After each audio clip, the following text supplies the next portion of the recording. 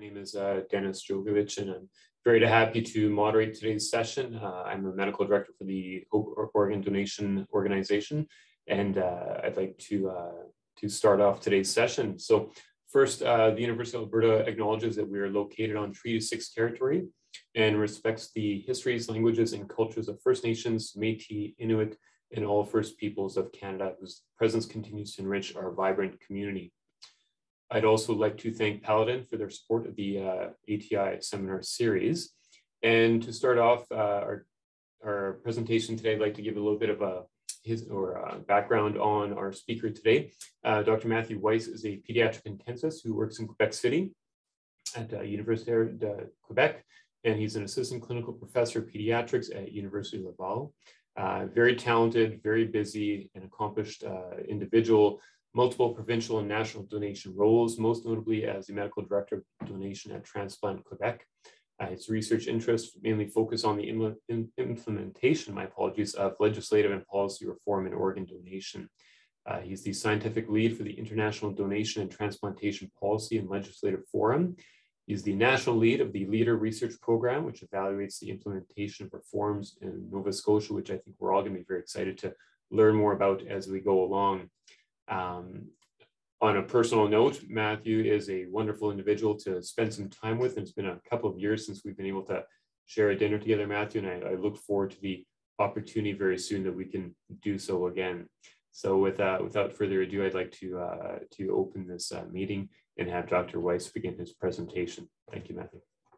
Yeah, I missed those uh, in-person meetings as well, Dennis. Uh, and thanks for that, uh, the kind introduction um, and the invitation to be able to speak today. So um, most of the uh, the information we're going to hear today is coming from this forum, which we're going to hear all about. And let's see if I can figure out how to advance. There we go.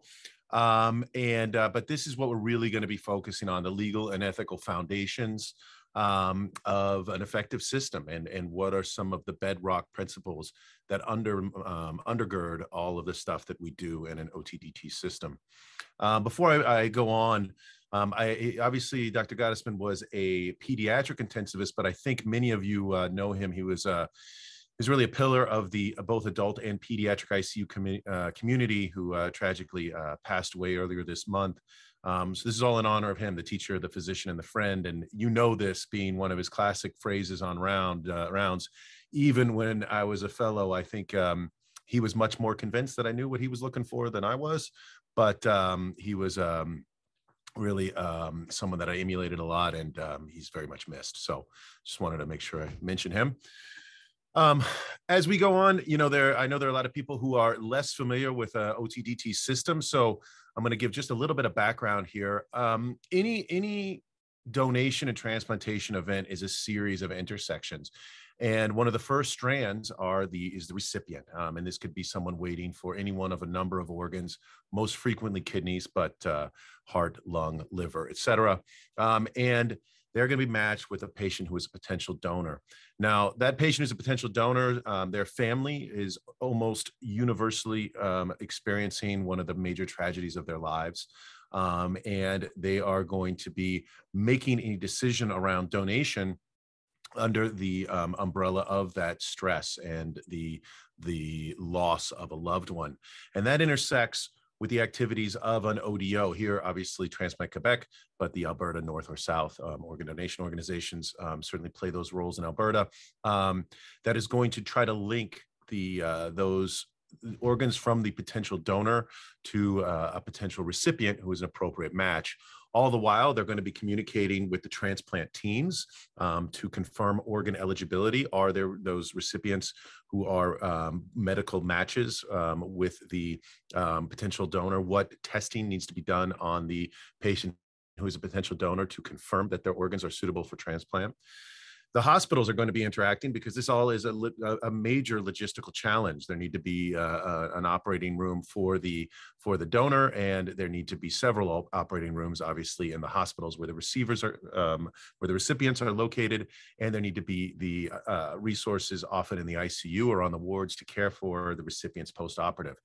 So it's really, um, and all of this is is going to be framed by the legal and policy framework in which the the system operates. And so it's really something of uh, almost a miracle that these things come together to create a donation and transplantation. Um, it does though um, here in quebec it's four to five hundred a year. I'm sorry i didn't get those numbers for alberta but as much as that is a success story the um, the reality is is that we could do better and the um, what we did with the forum was bring together international experts to create consensus guidance for all stakeholders, people like myself or Dennis who work clinically and administratively in the system, but also people more like, and I saw her on the line, Jen Wolfsmith, um, who is the mother of a, of, a patient who became a donor and who has an idea of what it's like to be on that end. Obviously, patients who are on the wait list, to bring all those people together um, and to who aspire to link evidence and ethical concepts to legislative and policy reform in an OTDT system. So these, these slides, don't worry. I know the, the font is small. The point is not to read the details. The point is to see the variability. So the blue slide there on the left um, that shows the number of donors indexed per million population across the world. Each one of those horizontal lines represents a different country. The numbers on the right in the yellow are numbers of transplants in, in those countries. And the thing I think that jumps out is that there is a, just a, a tremendous amount of variability. Now, some people might be quick to say, well, of course there is. These these are representing different systems, different healthcare um, environments that are funded either publicly or privately, and that's true. There is a lot of uh, variability there. But if it, eh, the within this data, you can see that even countries, for example, in Western Europe, that have well-financed healthcare systems and decades of transplant experience, there might be three or four differences in their performance related to number of donors and or transplantation. And no country has yet achieved what is one of the goals of all um, international recommendations is the idea to become self-sufficient. Self-sufficiency is defined as being able to respond to all the transplantation needs within a jurisdiction, either through recovery from living or deceased donors within the the, uh, the borders of that jurisdiction, or through ethical exchanges with other countries. And to date, even in the highest performing countries, Spain, the U.S., um, they no country has been able to eliminate a wait list and re- respond to all of their needs. Um, what that means in Alberta, as of the end of last year, there were 312 Albertans who were waiting for a transplantation. Obviously, the majority of those being kidney, but all organs represented. So, with that kind of variability, and uh, there obviously people have sought solutions. This is just a, an example article from the lay press, um, and the reason I picked it out is because of the subtitle, which is that the, the organ donor system is costing lives, but could be easily fixed. Um, and that is a theme. When you look at the uh, at lay press articles around how to reform a donation system, they're going to throw a lot of single um, issue solutions at you. And, and sometimes they're going to be presumed consent, the idea that all people should be assumed to be a donor unless they have registered otherwise. Mandated choice, where, say, if you are signing up for your driver's license, you are obligated to make a choice around donation donor registries um, and expanding the uh, publicity around them, making ease of access. And uh, those have all been um, been proposed as the simple, easy solution that will solve problems. Fortunately, when you look at the data, none of those are as easy a fix as you would think. So this is a 2019 review um, based on the Global Observatory of Donation and Transplantation data. Um, and they found no significant difference um, in either donation or transplantation rates between opt out or opt in countries, otherwise known as uh, presumed consent or explicit consent countries. That's not to say that it doesn't make a difference. And certainly what we've seen in the UK is that since they have implemented um, deemed consent, as they call it, which is presumed consent, um, the same, same uh, terminology, um, they have seen significant increases in the regions of the UK that have implemented that. But that implementation came with a lot of other factors, and teasing out that difference is tough. But overall, globally, no significant difference. Um, similarly, this article from 2015 in JAMA looked at um, variability within states in the US to see what policies um, would be most associated with uh, higher donation and transplantation rate and unfortunately nothing really stood out um, the the major effect that they were able to observe was that the more money that a that a jurisdiction put in that a state put into their system the better it performed but things like specifically focusing on donor registries, specifically looking at mandated choice, um, those type of issues. None of them were the magic bullet that they hoped the, the, the people who implemented those policies hoped they would be. So when we turn internationally and we see what guidance existed, because this is certainly something that we did as we were organizing the forum, you know, there are several landmark documents, and I think most of you would be aware, uh, familiar with these, including this, the, the Declaration of Istanbul, which is um, clearly a, a, bedrock ethical paper around how to manage um, a donation system, but a lot of it is focused on living donation and making sure that living donors are free of coercive tactics that might lead to them um, organ recovery against their will. Um, the Madrid resolution also um, was a major paper published in 2011 based on a, on a conference that happened in Madrid in 2010. Um, and that was this is one of the first papers that really promoted that idea of striving for self-sufficiency and offered a lot of practical advice on how to organize um, an ODO. Now, despite those documents, there's still challenges. Um, there is often confusion on the legal and policy framework, and sometimes conflict between the legal, what is written in the law, in the policy um, on how those are, inter, are enacted. Um, certainly, that's the case here in Quebec. We were just um, the, uh, this being National Organ Donation Week. There's been a lot of discussion around, say, what is the role of the family and the potential conflict between the fact that the law in Quebec is relatively clear that the um, when you have registered your intent to donate in a registry, that is a binding consent um, and should be respected. But at the same time in the law, there's an inclusion that for if there is a compelling reason not to donate, um, donation should not be pursued. Clearly, if the patient had a, uh, a cancer or some other transmissible disease to a recipient, that's clear. But it is less clear what to do when the family states that the person had changed their mind. And does that qualify as a compelling reason? Certainly today at Transplant Quebec, our policy is to respect the family in those situations, even though that that in some ways conflicts with um, uh, certain interpretations of the law. So it's just an example, and that can lead to confusion.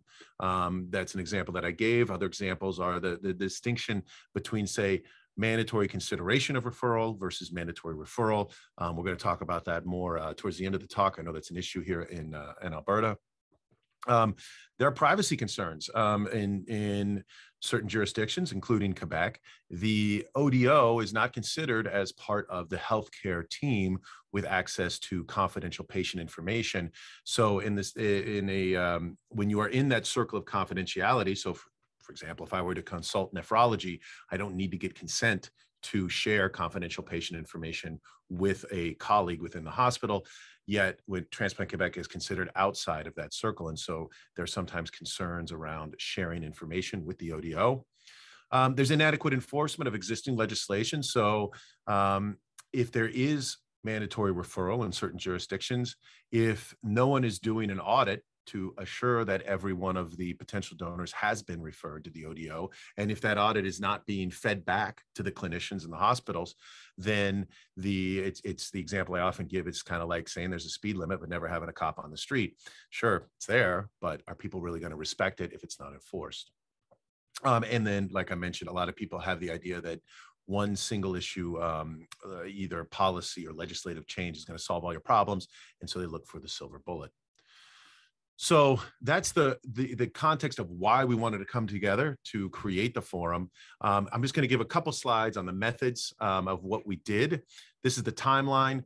Um, it actually started a little bit before this in the uh, fall of 2021, where we organized our committees to bring together international experts. There was a lot of backing, not only from the Canadian societies, such as the Canadian Transplantation Society, CBS, um, but there were also leaders from the International Society of Organ Donation Procurement and the Transplantation Society um, to, we, and so we brought everyone together and we completed the the chapters um, and defined what the chapters would be. In March, we had a, um, a healthcare consulting firm, STA Communications, who um, trained up the um, the chapter leads on how to create consensus around the the various topics. The chapter uh, leads presented their um, their final topic list in May in a series of webinars with all the other chapters to make sure there wasn't overlap or missed opportunities on topics. From June to September, there were literature reviews, there was writing, there was deliberation. Um, and then in October, um, each group submitted their recommendations and were presented at our at the hybrid um, meeting which happened in um, in Montreal, um, although most of the participants were virtual. Um, and then we are in the process of finalizing the uh, the submission. Uh, most of them have been submitted, and we're awaiting publication. So we had a lot of participants. Um, they came from all continents and I believe it was something like uh, 15 countries. I, I, don't have the exact number in front of me, but you can see a lot of diverse um, expertise, um, geographical diversity, um, linguistic diversity. So we, although we didn't necessarily have global rec- uh, representation, we certainly had international representation, and it really led to some rich exchanges on trying to, to get down to the core of what are the fundamental issues that um, every system could aspire to in a donation and transplant environment, regardless of your resources. Um, there were patient, family, donor, and family partners that were part of every one of the committees, um, from the scientific committee, the planning committee, and each of the chapter committees. Um, and we actively sought their input. Um, we wanted to make sure that their lived experience was kept at the core of what we were doing. Um, and we managed potential conflicts of interest. Everyone was required to uh, submit a conflict of interest form. No uh, relationships with um, with any for-profit entities were discovered, and um, all the funding for this, the majority came from the government of Quebec, with in-partner or cash funding from governmental agencies um, such as uh, Health Canada and Canadian Blood Services. So um, if you look, I'm going to present here some select recommendations. Obviously, we're not going to go through them all, but I really wanted to focus on some of the ethical and legal issues. Um, the first chapter, the first domain was the baseline ethical principles. This was led by Dale Gardiner, who I'm sure many of you know uh, works in the UK as essentially Sam Shemie's role in, in the UK. Um, and what they did was instead of creating necessarily new principles, they built on existing documents because they quickly identified, well, look, the Declaration of Istanbul is there the WHO guiding principles are there. Let's build on this to create a framework to evaluate new proposals. Um, and at the core, um, this is something that wasn't published in our in our work, but uh, it's the same author, uh, same authors. Dale and Andrew were the the the leads of the the ethical group. Um, this is one of the, the, the guiding lights is that really when you boil down most almost all of the the issues around donation and transplantation, there are two fundamental um, rules that are the most important, and that's the dead donor rule and the consenting donor rule.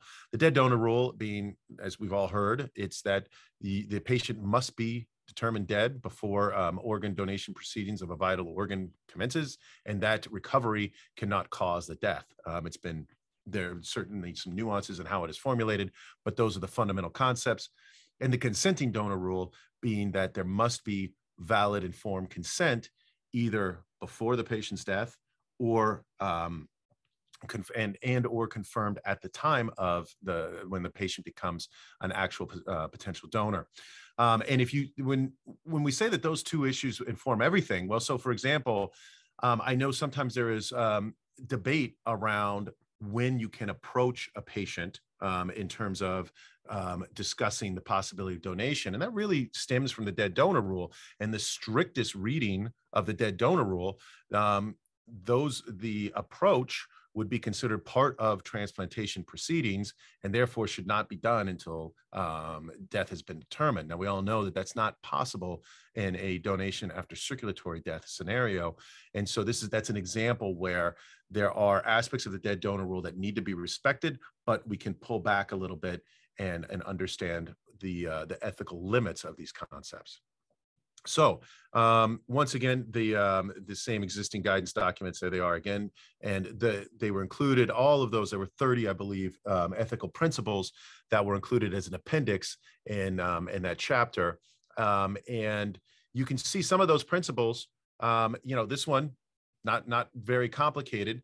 Um, that and I think everyone would would agree that uh, that physicians determining a potential donor has died should not be part of the transplant procedure. So if you are the the transplant surgeon, you should not be doing the apnea test on the patient. Non-controversial. But where you can see there there might be some controversy around in a DCD setting after the patient has been determined dead.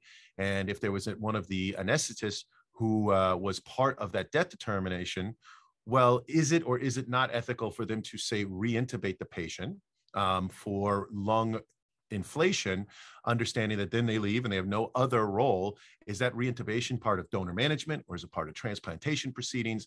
There are reasonable interpretations on both sides of that issue. Um, another example might be that organ donation should be a financially neutral act that comes from the Declaration of Istanbul. Clearly, we don't want people to profit off organ donation. Um, we don't want people to be making money selling their organs. That certainly could introduce an element of coercion um, for people who have uh, fewer resources available to them. Um, but at the same time, we don't want donation to be a, an expensive act. And so, how much, um, say, family support for people who um, whose loved one had to be transferred to another center? Um, is it is it ethically acceptable to pay for the hotel uh, or um, a travel cost for that family? That's an example where, once again, reasonable people could could disagree on whether or not that represents some kind of subtle coercion or is just support to make sure that it is a financially neutral act. So that's kind of it in a nutshell. Uh, Dale's group said, no, these are nice principles in these documents but how do we determine if a proposed policy is in alignment with those foundational principles? And I really, really like what they did. First of all, they said they set up some some guideposts for what we need to do. And, and first of all, there's a duty to consult. And what we mean by consulting is, is talk to all the stakeholders, not to keep it an internal discussion between the leadership of an ODO, but to open it up to everyone who's going to be touched by whatever policy is being proposed. Um, there should be lay and patient representation on decision making bodies. And the more detailed or granular that decision is, the more we're going to need lay people involved because they really need to be um, implicated to understand how this might affect the patient experience. And that last point is that th- everything should be done in a transparent manner with any conflicts of interest mitigated as much as possible. And what they proposed was this model um, when you're actually making an evaluation that includes, and it's important to note that that this is proposed that each one of these steps is necessary before approval of a new policy. So one, does this increase the possibility of self-sufficiency? Is there a reasonable chance that this would would decrease the amount of time that people wait on wait lists and, and increase the availability of organs? Margin of appreciation, I'm going to talk about in a moment. Their efficacy. So is it is it even effective? So when we talk about heparin um, in the context of DCD, is there reason to believe that this is going to even work, whether or not it might, um, um, whether or not uh, it's going to increase the function of the organs after transplantation. Protection is a big issue. Are there specific groups that need to, that and and protection issues, either for historically underrepresented minorities um, or for um, other groups that might potentially be at risk from a policy? And then policy approval. So as I mentioned, margin appreciation is a, is a um, an idea that I think merits the most attention. It was one of the things that I really um, appreciated um, from from their work, and it's a it's a concept that was borrowed from European jurisprudence, where there are a lot of different countries with different laws around issues. And the question is, how much variability is acceptance? And what this does is it creates a, a sense of a gray zone between um, the universally accepted and the universally unaccepted. And so um, clearly in the in that green zone is the need for consent and, and for, for donation, with the red zone being execution to remove organs um, and, and that being uh, ethically unacceptable. But the question in the margin of appreciation is that reasonable people who are educated around donation can reasonably disagree, say, around the ethical acceptability of presumed consent, with a lot of people arguing that is a completely reasonable um, method to construct a consent model, and other reasonable people saying it poses a risk to autonomy. Um, and I think that those and where the decision around a policy it must fall at least within that margin of appreciation and then an individual jurisdiction needs to consult their their stakeholders including the general public to make an understanding of what would be appropriate for the people in that jurisdiction um, efficacy in that spiral was also something that I very much appreciated. It really does imply a moral obligation to evaluate practices in donation.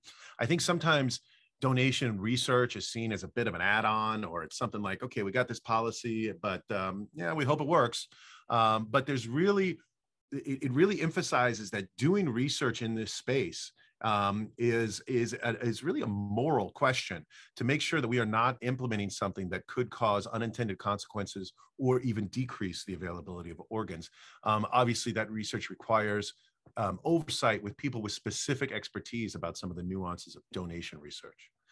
The legal foundation groups, well, first of all, they recommended a unified law. Um, I'm not 100% sure of the status in, in Alberta, but I know in Quebec, the the statutes that touch donation are kind of dispersed throughout the civil code um, and they, we do not have a uniform uh, transplant quebec law um, but that law also that second point is key as well. It needs to be integrated into the legal system.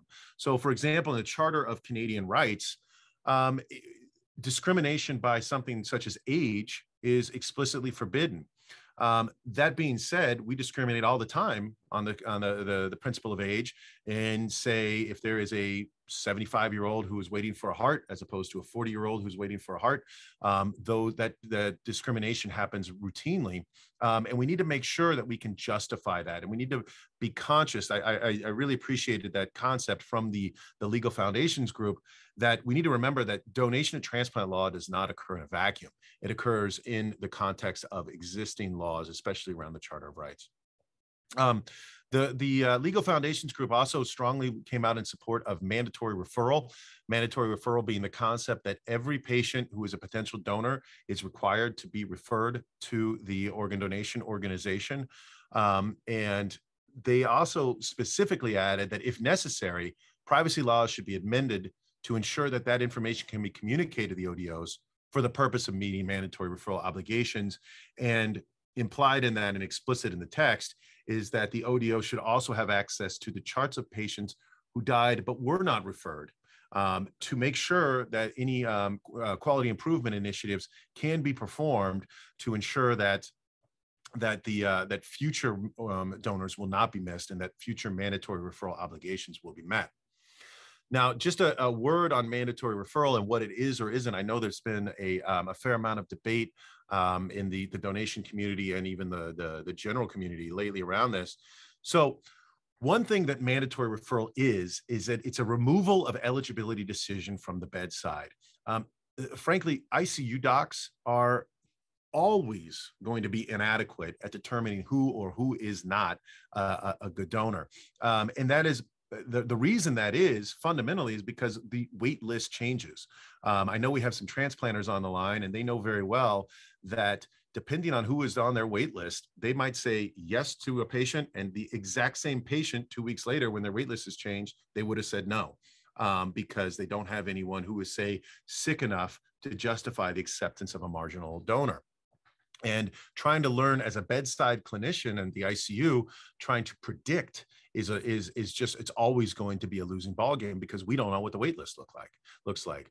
Um, it also I see this is a survey. I think I've shown this at an ATI rounds before. Um, this is a survey that myself and Miguel Chassé and tons of other collaborators worked on with the trials group. Um, these are this is from a survey where we asked ICU docs throughout Canada, um, 260 roughly, responded around why in the past they had not referred. And you can see the number one reason is organ dysfunction. But the problem with that, like I just mentioned, is that you just don't know. Um, other reasons were were also surprising and, and and frankly, in some ways struck me as as potentially paternalistic. So that the the idea that the family is too upset. The family may or may not, the family is likely going to be upset. They've just lost a loved one. But whether or not donation is going to worsen their upset or to um, to actually provide a potential relief for that family is not really for us to decide. It is for the family to decide once donation is proposed. Um, there are several, you know, almost 40% of respondents said they hadn't uh, approached because they assumed that the patient's family religion would preclude donation, which once again, relatively paternalistic. We, I know that both in Quebec and I assume in Alberta as well, have had donors from all kinds of religious and um, uh, social backgrounds. Um, and then the, the family desires to leave the unit once again, probably, but maybe if donation was an opportunity, they would want to stay. It's also important to know that mandatory referral, there is a difference between law, policy, and practice. Um, this is from the same survey, although a different manuscript. Um, I really like this uh, this slide, even though it's a little um, confusing at first. So you can see in those the, the bars that are red, those are provinces without mandatory referral. And you can see that when there is not mandatory referral, Nobody in the survey said that there was. The inverse is not true. those the, the provinces with the blue lines, those are provinces where mandatory referral is in place, but the gray bars are the number of people who said that it is not in place. And so you can see that with the exception of Ontario, no province with at least some aspects of mandatory referral, obviously mandatory consideration in Alberta, but no province the, the, the had the majority of respondents say yes, there is. Um, and several um, had, had, said no. You can see in Manitoba, it was 75% said they do not, when actually they do. It's on the books. Um, so that just shows that just because the law is on the books, that doesn't mean that it's going to impact practice. There needs to be um, a, a, knowledge translation work to make sure that that practice impacts, uh, or that law impacts practice. It's also important to know that referral does not equal approach, and I should have included here that that does not equal a consent model as well. What we're talking about is that they're referred. Now, it might be they're referred, and as I often joke about with uh, with my group here, is that yeah, you refer that 90 year old with a with a chronic leukemia who is hospitalized for his rabies. Well look we're not going to approach that family. You're going to know that's not a donor. But that family should still that patient should still be referred. Um, and then consent is a separate issue. Early is important because if you refer the patient an hour before you extubate for a DCD, you're not going to be able to organize donation in that time. There needs to be a reasonable amount of time, and the family needs to understand that donation referral is happening so that they, so that donation can reasonably be organized. And I just have a note here that MAID is tricky um, in terms of whether or not they should fall under mandatory referral. I think that is something that the ODOs and the hospital should um, should discuss. So in terms of um, choice of consent model, I just have a couple notes here. We did um, have a chapter devoted to, often it's it's uh, framed as a, an opt-out versus an opt-in consent model. Um, and the, the prevailing um, recommendation was that it should be in line with the values and cultures of the community. Um, and, but whatever model you have, the OTDT infrastructure needs to be supportive of it, and um, the, and it must build and maintain public trust. The, the, the population needs to understand that whatever consent model there is, the patient who arrives at the hospital is going to be treated as a patient first, who are going to try to save life, and then there will, if there is an inability to save life, there will inevitably be inevitably be a transition towards potential donation discussions. So, where to now? As my friend Dave Hartel said, I got to trademark the, the green arrows that uh, populate the slide deck. Um, we are in the process of finalizing the reports. We are producing summaries, engaging stakeholders. I'm doing things like talking to the um, the legislative um, uh, body here in Quebec to try to get a public consultation.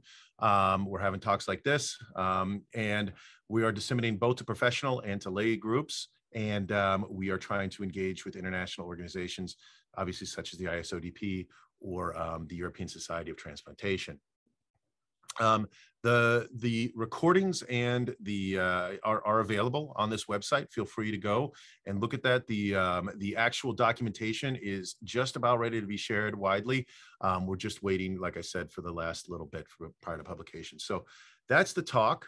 I, I lost track of time. Um, oh wow, we got plenty of time for uh, for discussion. So that's great. I thought I was uh, running a little long always interesting to hear about the, the many different uh, approaches there are to the world of donation and transplant. And you know, I'll open up the questions uh, in a minute here. But you know, one of the things that uh, that has always struck me about organ donation and transplantation, and it may help just with uh, you know the very people that are on this uh, on this session, is that you know transplantation donation is such a special place uh, it's a special program for a number of things, but one of the reasons is it's built differently. You know, if you have a hospital and you want to build a trauma program, you you find trauma surgeons and trauma nurses, you make a trauma team and you make a trauma program, and then you open your doors and you wait for trauma patients. And donation isn't like that. Donation starts and only starts with trust and with a gift.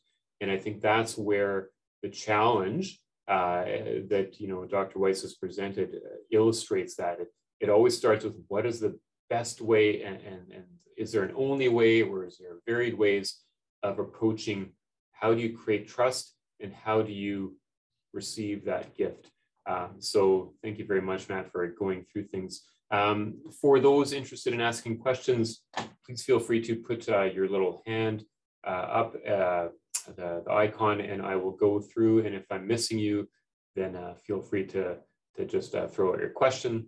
and we'll go from there. But Matt, maybe I can start out uh, with my own question. Um, if Canada develops uh, its organ donation and transplantation programs as you would want, where do you see us in five years? Well, I think one um, thing that is is ongoing is data sharing and um, quality improvement initiatives that are pan Canadian. So I would love to be able to today give you the results of uh, the the output of a um, provincial donor audit that I've done here in Quebec. Unfortunately, I can't do that because our, you know, we don't have we have it, but it's it's slow to develop. It's we we're not a um, nimble enough to be able to update it regularly. So first of all, I'd like to have that capacity, but then I would love for my results to be directly comparable with say the results in Alberta and to be able to see what we could learn from each other. So, you know, if I how if I were to say, "Oh wow, you guys have uh um, approach rates that are 10 points higher than ours. What are you guys doing? How is that happening? Um, and I would love to be able to to have those kind of exchanges based on on real time data. Um, and I think that's that's one, a major issue. Um, so I, I, guess that's one the sharing of, of high quality data that has uh, universal definitions was, is, was a key aspect. Thank you, Matt. Um, let's see if we can go through some questions here. Uh, Flavia, I think you have a, a question. Feel free to, uh, to start up. Sure, happy to. I thought I put it in chat. Nice to see you, Matt. It's been a little while. it is. And um, thank you, great presentation, and especially that clarification around the mandatory referral. As we continue to push um, the voices up from the patients that we serve, and as we're looking to improve things here in Alberta, there's always discussions that um, organ donation, transplantation need to be kept separately um, we know that that is not what is happening in other jurisdictions. And I'm just wondering if you could help shed more um, information, light on that as we continue with efforts to uh, be able to do that here in Alberta. Thank you. Yeah, I, I, think that there there are some bright lines that need to be um, very very much respected. So you know, I, I, work very closely with Prosanto Chaudhury. He is the director of transplantation at Transplant Quebec, and you know, I would certainly never have Prosanto either participate in or give advice on a, um, a neurologic determination of death, a brain death exam. You know, that's that would be inappropriate. That would be as appropriate as me going in and telling them how to suture up the, the, the kidneys once they are uh, implanted. You know, it just doesn't make any sense. Um, but it doesn't make any sense from a from an ethical standpoint. Now that being said, there needs to be mechanisms of quick and easy exchange of information. Um, so, you know, to to determine if a patient who is a potential DCD donor is going to be eligible or not, well, we got to have a quick, we got to be able to rapidly give the relevant information to the transplant teams. And that is going to determine A, how are we going to approach this family? And B, if we even approach this family at all.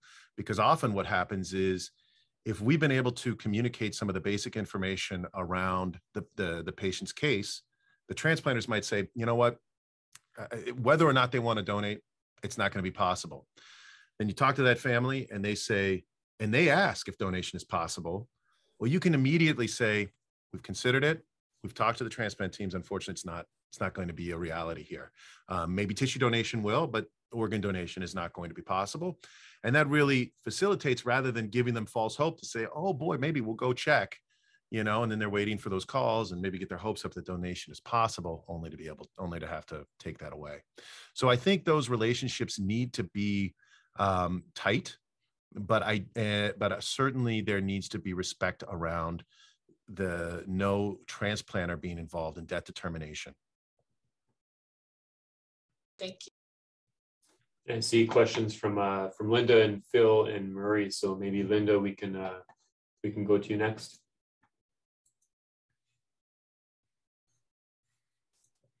Oh, you're muted, Linda. Sorry. Thanks so much, Matt. Terrific presentation. Um, I put a couple of questions in the chat, but I also have another one about the nuance of mandatory consideration and mandatory referral, because that's obviously a conversation here in Alberta. And the current legislation um, does not have the words if death is imminent. So that is in addition to the proposed legislation. But could you comment on that if, if you're able to? Sure. And I see a related comment from Murray there in the chat as well. So I, I think that the important thing is that the, the, the law be worded in a way that gives the, the ODO the uh, authority to determine who or who not should be referred. Um, and so, for example, uh, there have been several pan Canadian initiatives right now um, around donor audits, that being relevant because it determines who is who should be considered to be a missed donor. Well, if you weren't considered to be a, a potential donor, you obviously weren't missed. And so, really, what has evolved out of those discussions has been that their end of life discussions are being are underway and that the patient is ventilated now those those two criteria and, and that's kind of a condensing of what is often known as the give criteria which is used in several um, several provinces.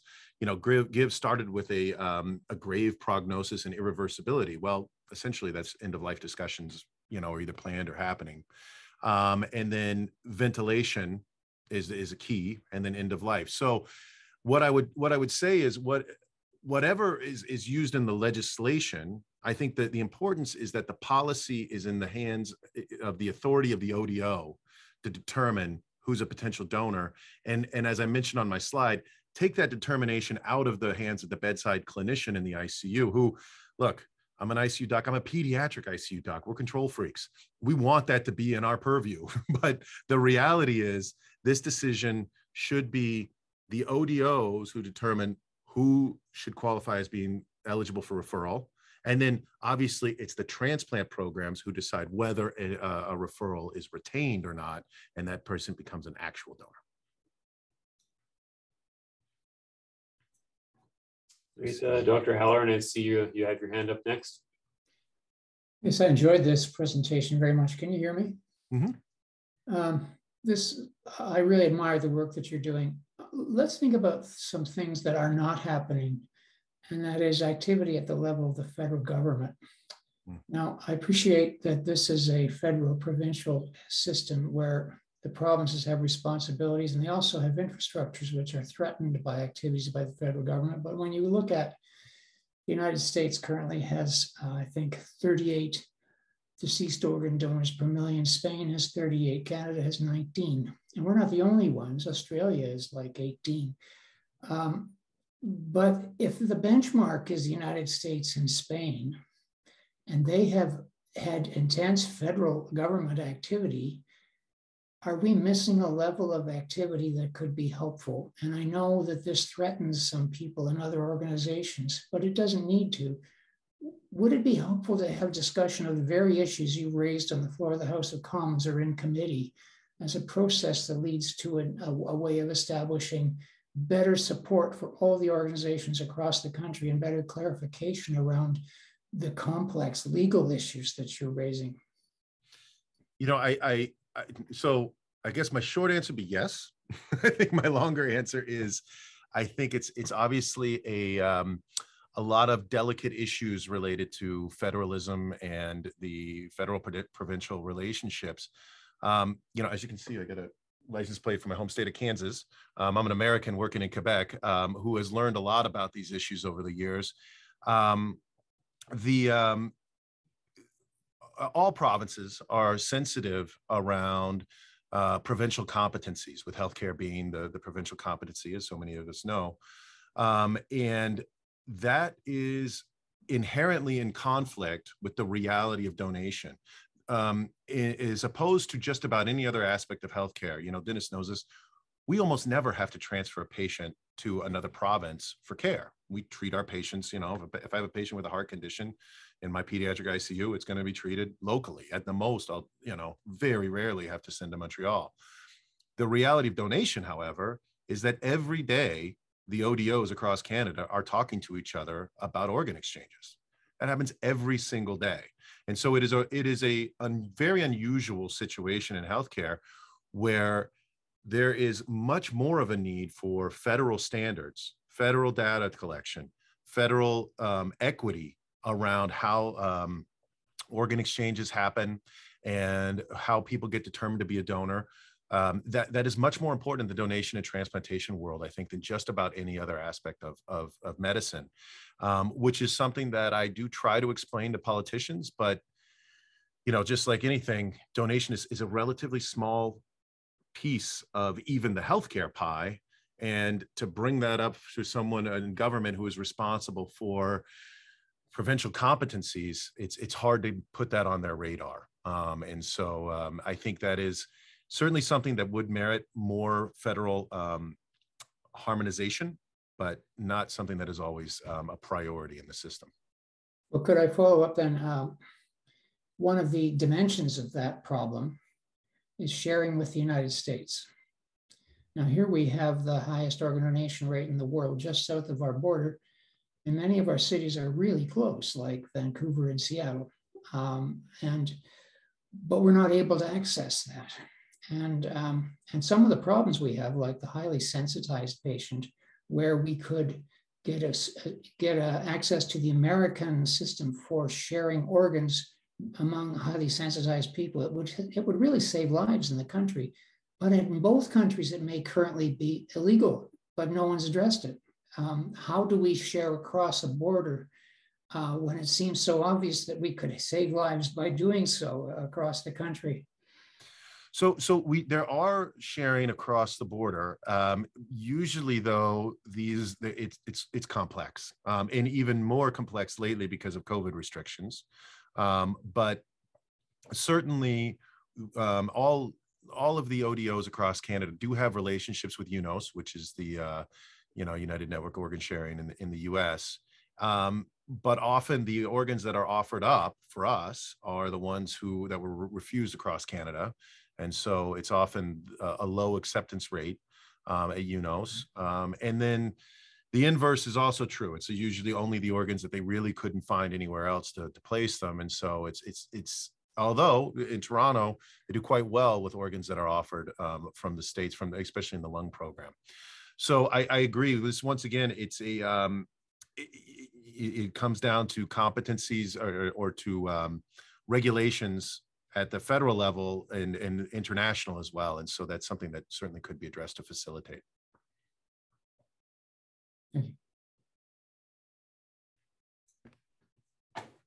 Marie, I see that uh, you had a question earlier on. Uh, I'm not sure if Matt was able to answer it uh, to your satisfaction. Would you did you want to? Uh... Not exactly.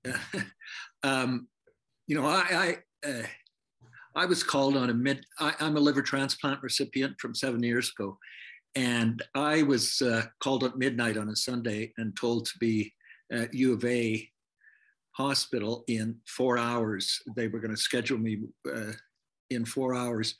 Well, we got there on time, but we actually didn't start the, the uh, uh insertion of or taking out my old liver and putting in a new one for 28 hours.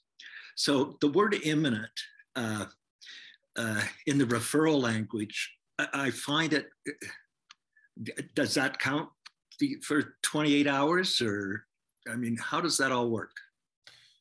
Yeah, I, I think that it's a, um, it's a fair question. And I think that there are there are two levels. I, I, think that the first level is if you think it's going to be imminent from a prospective or going forward pers- uh, uh, uh, perspective or from a retrospective where you're looking back at the charts. And so, for example, um, on uh, through discussions over the last you know year and a half, two years, I think where most people have settled is either if someone died within 12 or 24 hours, when you're looking retrospectively, then that person likely could have been a donor, and if they weren't referred, they um, that's something that the, the the program should be that feedback should be given that that we should count as a missed donor. From a prospective perspective though and and, and dennis can and, and the other icu clinicians can can certainly relate to this it is very difficult to know who's going to die quickly and who's going to take a long time. Um, and so that's why i think most people would recommend that when you operationalize that it's just everyone who is ventilated and you're planning a withdrawal upon if they're not already in neurologic death, those people should be referred.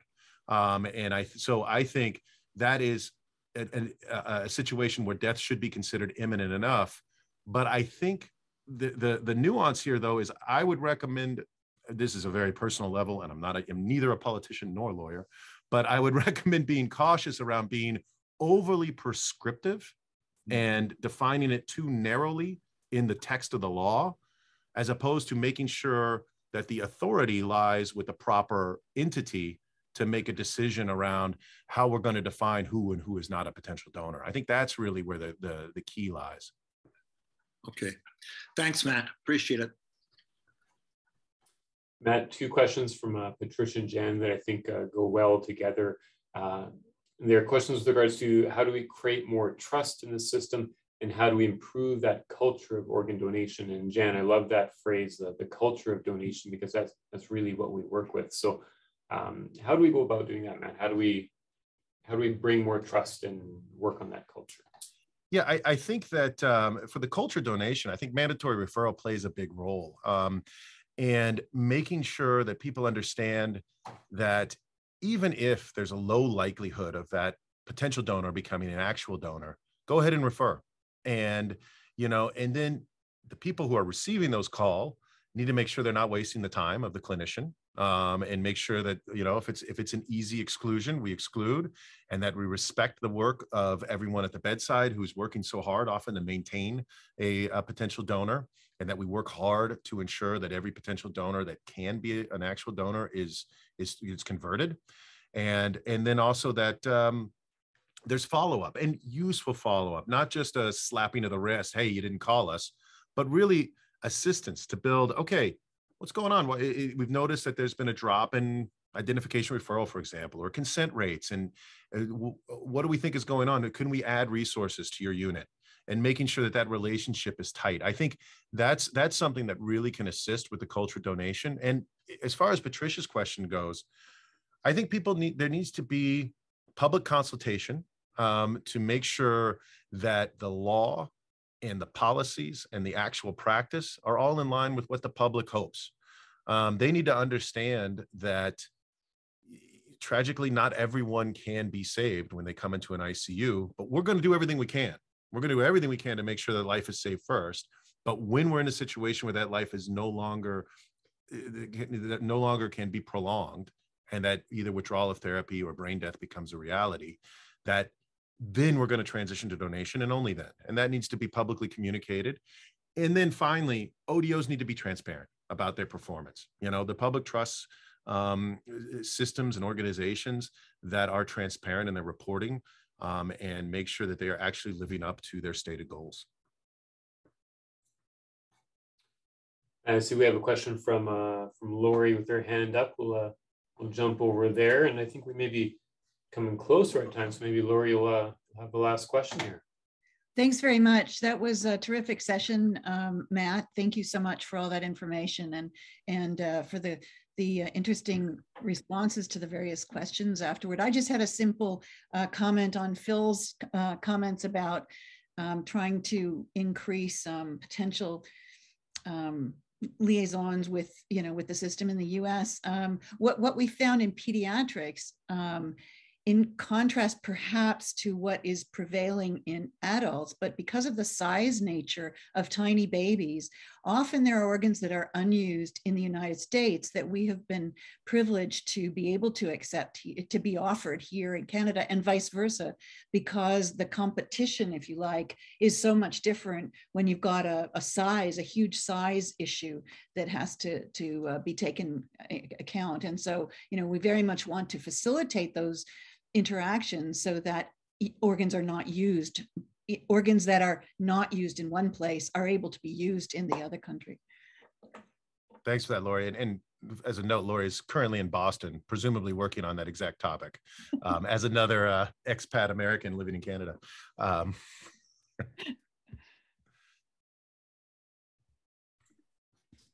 well this kind of brings us to about uh, well, just a few minutes before well, one o'clock local time um, certainly, I think we'd love to have uh, Dr. Weiss available for a few more hours to run through a number more questions. Uh, but I, I, would like to to thank uh, to thank Matt, to thank ATI and, and Paladin, and uh, to everyone that's on this uh, this call today um, for for the interest, for the questions, and most importantly for the, the commitment to that culture of organ donation, which everyone is a part of.